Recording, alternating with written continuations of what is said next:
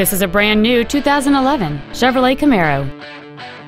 It features a six-cylinder engine and a six-speed automatic transmission. This vehicle won't last long at this price. Call and arrange a test drive now. Hubler Chevrolet is located at 8220 South US 31 in Indianapolis. Our goal is to exceed all of your expectations to ensure that you'll return for future visits.